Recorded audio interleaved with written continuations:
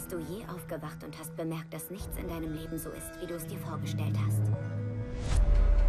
Willkommen in Manila. Genießen Sie Ihren Aufenthalt. Ich bin in der Stadt, ich brauche Hilfe. Was ist passiert?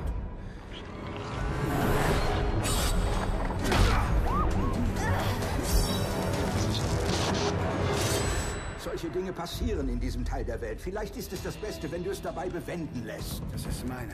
Ich will sie wieder haben. Erwartest du jemanden? Nein. Lass ihn los.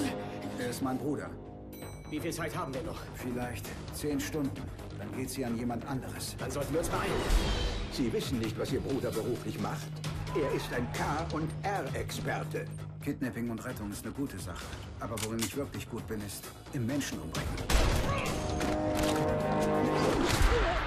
Du kannst denjenigen, der die Niere hat, doch nicht umbringen. Doch, das kann ich. Das können wir beide. Gib Gas! Okay, okay! Das ist meine Tochter, Isabella. Sie ist neun. Deacons Niere soll ihr in zwei Tagen transplantiert werden. Wenn wir seine Niere nicht kriegen, bevor sie einem anderen eingepflanzt wird, stirbt sie. Würdest du dein Leben für sie opfern? Gott, selbstverständlich würde ich das. Würdest du töten, um sie zu retten? Selbst wenn es deine Seele verdammen würde?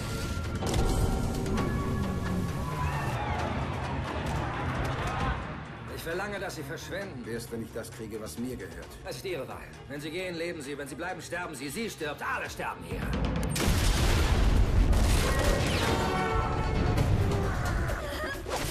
Wo ist meine Niere?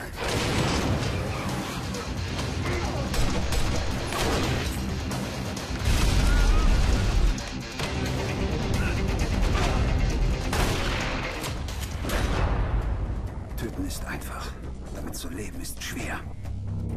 Deacon, wozu brauchst du die Bibel? Inspiration.